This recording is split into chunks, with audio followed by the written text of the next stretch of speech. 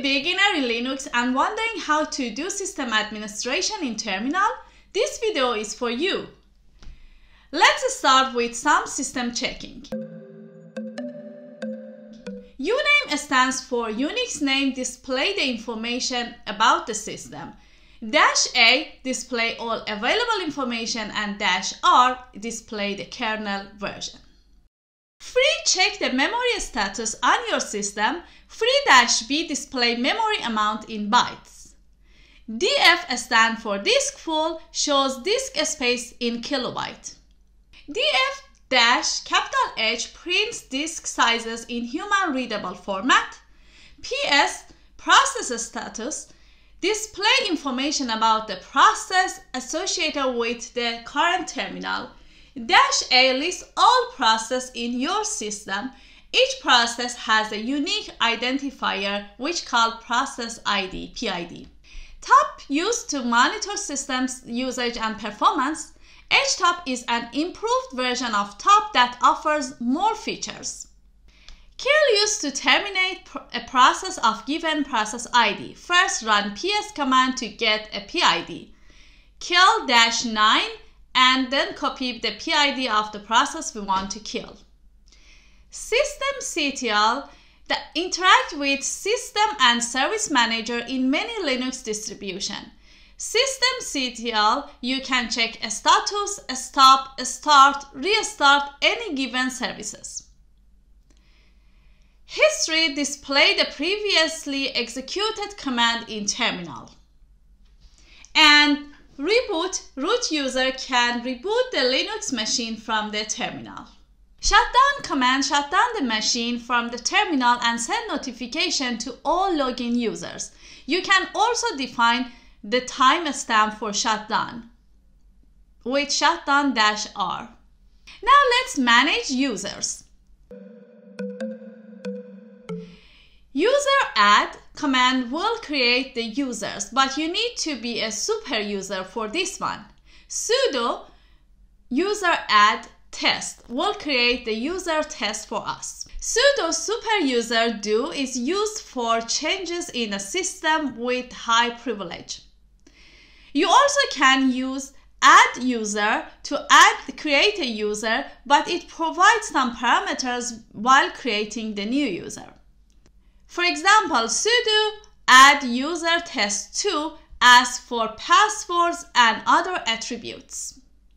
After you create the users, we can check in etc passwords that user has been created. Su stands for switch users and used for switching between different users. Exit command used for log out from one user to another user. User delf is used for deleting the users and you can check if the user has been removed in etc passwd file. sudo passwd is used to change a password for users. sudo apt update is used for updating your machine. sudo apt install used for installing package in Linux distribution. Finger is the package or tool in Linux that used for inspect users. Now let's check network configuration and status in Linux terminal. ifconfig is to checking the IP address and network information. IP address is the same. The output are similar for checking the network information and IP addresses. You can check DNS server in etcresolve.conf and sometimes Ubuntu doesn't provide the correct information in that file. In that case, you can use resolve ctl status to get the DNS information.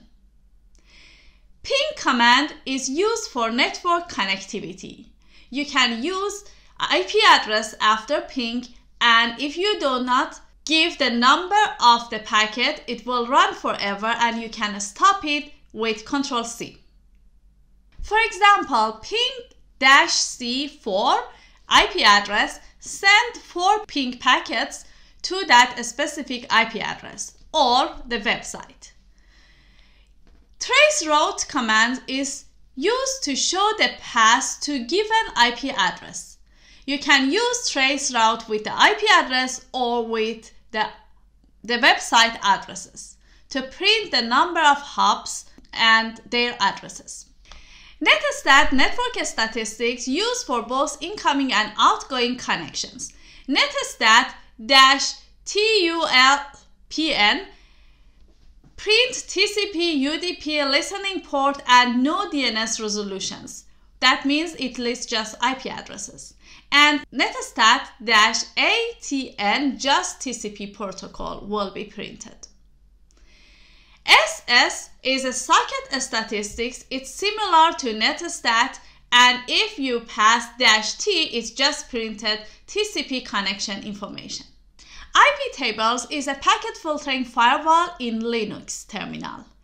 You can print it with sudo IP tables dash L and to insert the rule in IP table use dash I and also check before adding any rules with dash dash check.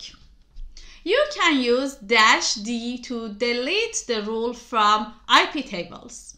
UFW stands for Uncomplicated Firewall is a firewall configuration tool that runs on top of IP tables. It is included by default in Ubuntu distributions. With status, we can check the status of UFW and also we can enable or disable the service. Adding the rule with UFW is much easier compared with IP tables. You can allow or deny connection from addresses simply by adding deny and allow in the command. I hope you enjoyed this video. Don't forget to like, share and subscribe to our channel for more exciting content. Until next time, stay secure, stay protected.